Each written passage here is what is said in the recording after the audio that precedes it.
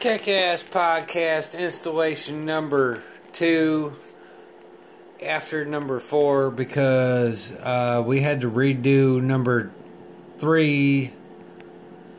And then uh, I don't know if number one was ever really done right, but um, I'm just gonna let you know there's some guy out there on the internet that's full of baloney. He was talking about how to slice beef bologna, and he's just he's full of baloney. I kind of like the guy because he's all about the meat hitting the grill, but um,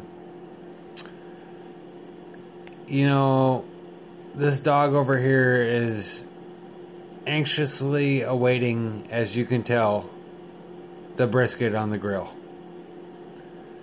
She's uh, clearly beside herself and is more than likely going to be chasing rabbits through to the yard for the last half of the cook.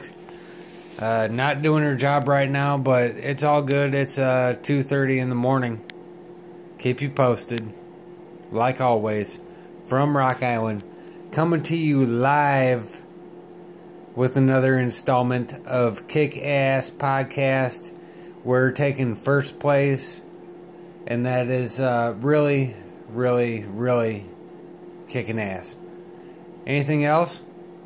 Uh, it's just, uh, you know, comparable to fourth place. And that makes you look like a fucking idiot.